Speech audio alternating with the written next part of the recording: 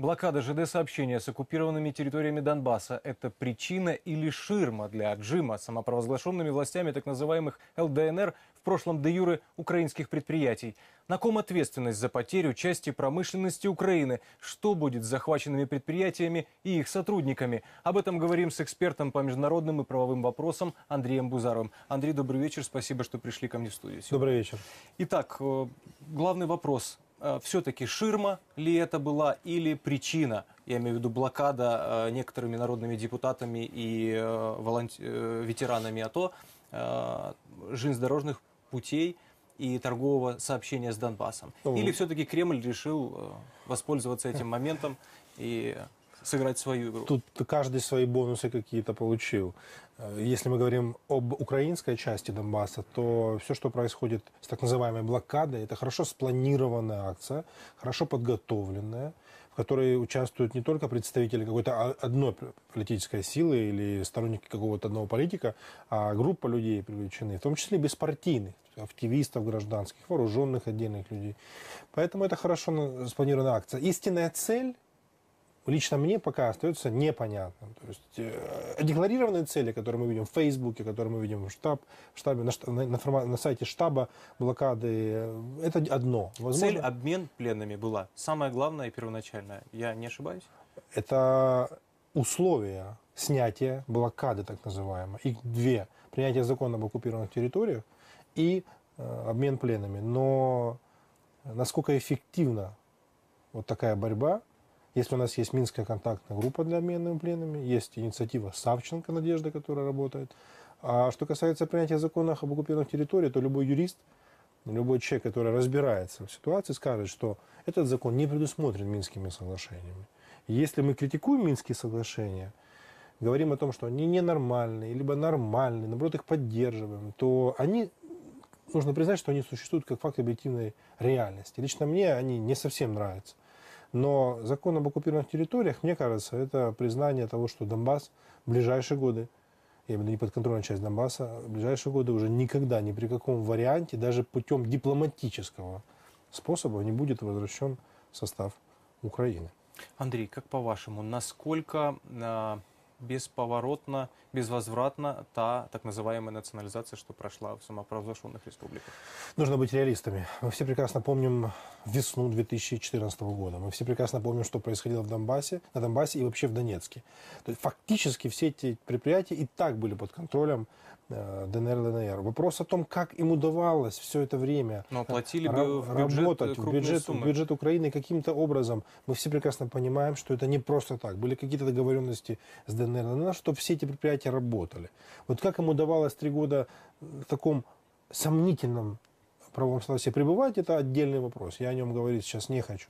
Но фактически эти предприятия так были под контролем ДНР, ЛНР. А сейчас просто идет э, полная, полная узаконка, скажем так, квази-узаконка, поскольку ни о каком правом поле нельзя говорить когда мы говорим о ДНР, ЛНР, но фактически они Украине, не Украине не под контролем. И волей-неволей мы теряем поступление в государственный бюджет, это факт. Кого тогда можно назвать выгодополучателями вот этой ситуации? Никто. Суммарно. Блокада и, и отжим предприятий. Никто не получает никаких, э, выгод, никаких бонусов, никакой выгоды.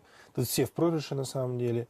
Даже те, кто организовал эту блокаду, мы все понимаем, что это довольно серьезные политические игроки, и партии, и активисты, и это ветераны, то они должны отдавать себе отчет в том, что они делают. Тут я согласен с Аваковым, который им сказал, что рано или поздно нужно будет за это нести ответственность. Может быть, это не юридическая ответственность, но может быть, это морально перед обществом.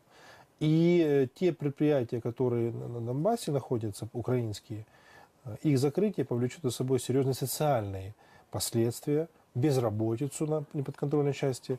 Э, то есть вы прогнозируете то, что они, скорее всего, закроются? Конечно. Потому да. что России конкурирующие... В конечном ну... счете, да. Часть из них будут работать, но в конечном счете они закроются, поскольку рынок сбыта – это Украина, а Россия перенасыщена различной продукцией из-за санкций. То есть у нее идет переизбыток производства. Рынки России полны всем. И металлопрокатом, и углем. Они готовы экспортировать куда угодно. Просто у них большая сложность с экспортом этой продукции, так как санкции наложены, и су- существенные проблемы внешнеполитической, внешнеэкономической деятельности, прошу прощения. В, в этой связи можно ли утверждать, что э, блокирующие невольно, а может быть и вольно подыграли в этой гибридной войне? Тем, что ослабили ну, экономику, в частности, э, прогнозируемо, что люди останутся без работы. Далеко не все э, сторонники Украины на той территории. Ну, как эксперт я не могу сказать, что блокада – это часть гибридной войны России, так как, э, к сожалению, может быть, к счастью, блокада не России была организована, так называемая блокада на Донбассе. Она была организована э, патриотически настроенными общественными активистами, народными депутатами, ну, по крайней мере, или во всяком случае, таково их видение, как они говорят о патриотизме. А реальные задачи, э, реальные цели, они непонятны ни обществу, ни мне, ни всем другим. Принятие закона об оккупированных территориях или обмен пленными, я уже об этом сказал, есть другие способы и средства, как можно их достигнуть, но не путем блокировки. То, что действительно были выявлены факты контрабанды и действительно сомнительными схемами, схемами идет продажа и многое другое между подконтрольным и подконтрольным частью Донбасса, мы все это и так знали. Мы все это прекрасно понимали, это ни для кого не было открытием. Но каковы последствия вот этого всего, нужно осознавать активистам. Вы как юрист, дайте, пожалуйста, правовую оценку действия, э, действий этим, этих активистов. Есть э, разные мнения, моя позиция очень четкая. Я считаю, что все их действия абсолютно незаконны. У нас есть правоохранительная система, Украины, по крайней мере, была, я не слышал. И она должна была восстановить порядок. Все есть функции для этого, и все есть полномочия у МВД, у СБУ, у армии.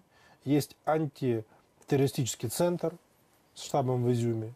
Но приказ не поступает. Чьей воли не было, Президента Украины. Конкретно президент Украины не дает приказ о восстановлении правопорядка. Дело в том, что Донбасс находится в зоне антитеррористической операции, где существует особое применение права и законодательства Украины. Даже в условиях вот этой экстренной ситуации существуют все необходимые полномочия для того, чтобы восстановить порядок. И если завтра я, Музаров Андрей, начну блокировать э, движение транспорта, какая ответственность должна за этим последовать? это дело не в Конкретно для вас. ответственности, дело в последствиях. Через две минуты приедет спецназ, арестует меня, и на этом закончится. Если я начну блокировать работу Борисполя, меня арестуют. Этих людей никто не трогает. Была какая-то попытка со стороны Аброськина, со стороны представителя полиции, но она ни к чему не привела. То есть была ли это эффективная попытка? Не Глобально, знаю. почему? Почему все-таки власть не взяла на себя ответственность? Из-за или- политизированности процесса. Э, Это не просто акция, организованная какими-то спонтанными людьми. Это акция организована во многом представителями политической фракции «Самопомощь» и политической партии. Олег Садовой, Андрей, Андрей Садовой, прошу прощения, он неоднократно высказывался в пользу э, этой блокады. А его подчиненные, его приближенные это поддержали. Все вопросы нужно задавать Андрею Садовому, мэру Львову. Но я не, не знаю, почему он сейчас так умело уходит от всего этого. И фактически он знает ответы на все вопросы, связанные с блокадой. Георгий Тука на днях заявил, что если оставить э, данные действия активистов без внимания должного, то это может, э, цитата, породить вседозволенность, и в дальнейшем блокады могут даже стать частью а, украинской политической м, Борьбы, да? ну, борьбы или даже культуры. К сожалению, к сожалению, Тука может быть прав, но я хочу напомнить Георгию Туке, что это не первый раз, когда активисты используют экстремистские фактические средства. Мы хорошо помним, что было вокруг так называемой энергоблокады Крыма, когда были взорваны энергосистемы, кем и почему никто не дал на это ответа. Вы представьте, если переселенцы из Донбасса вы, вышли куда-нибудь, взорвали бы электросети и сказали, увеличьте нам, пожалуйста, э, Помощь помощь на да, оплату с 400 коммунальных. рублей на 500 рублей. Всех бы арестовали и повесили бы ярлык сепаров за 5 минут. Но тому, кто взрывал электропередачи э, на Херсонской области, на границе с Крымом, можно это было делать. Эти лица не были привлечены. Тому, кто блокирует сейчас э, работу транспортных развязок с Донбассом, так называемой блокады, тоже это можно делать. То есть, очевидно, есть какие-то э, выборочные подходы и выборочное правосудие ко всем участникам политического процесса в Украине. Возвращаясь к национализации, так называемой национализации в ЛДНР, СБУ перехватила э, часть разговоров э, главы самопровозглашенного Александра Захарченко с, каким, с неким его поплечником. Э, Вы говорили, что в этом разговоре э, видны схемы и мотивы. Можно ли из этого разговора понять, что будет дальше с этими предприятиями? э, И не останутся ли люди, их работники этих э, заводов, шахт на улице? Ну, во-первых, если это договор, если это разговор достоверный, то здесь как раз больше возникает вопросов, чем ответов. И из этого разговора можно понять, что будущее, ближайшее будущее эт- этих предприятий под вопросом.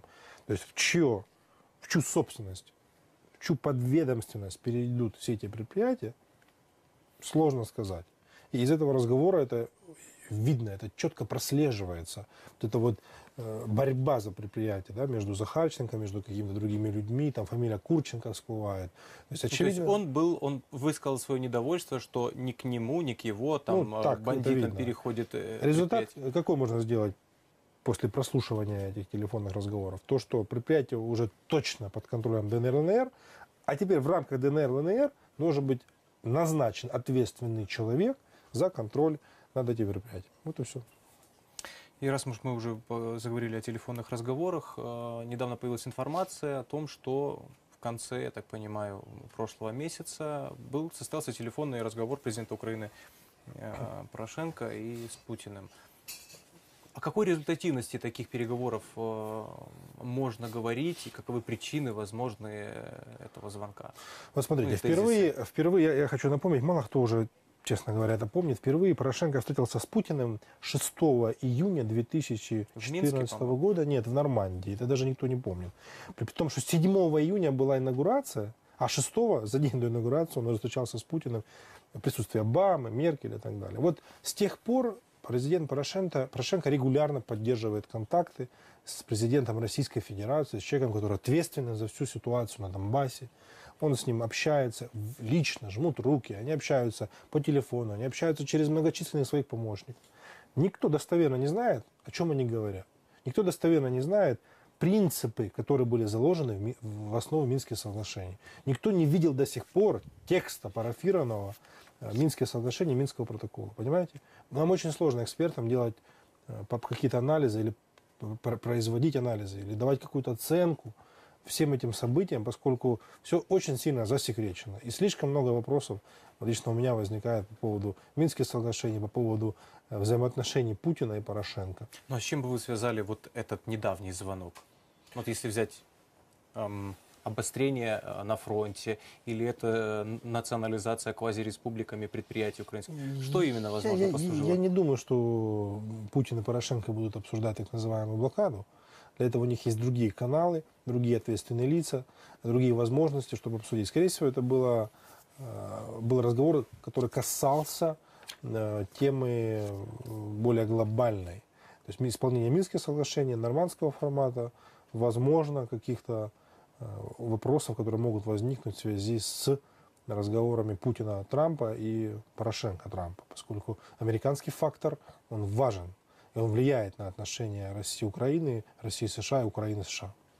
В связи с блокадой и, и- и прочими действиями а, жизнь украинских граждан на оккупированной территории ну, заметно ухудшилась. Можно называть это отсутствие теперь гуманитарной э, помощи, конкретно от гуманитарного штаба Рената Ахметова.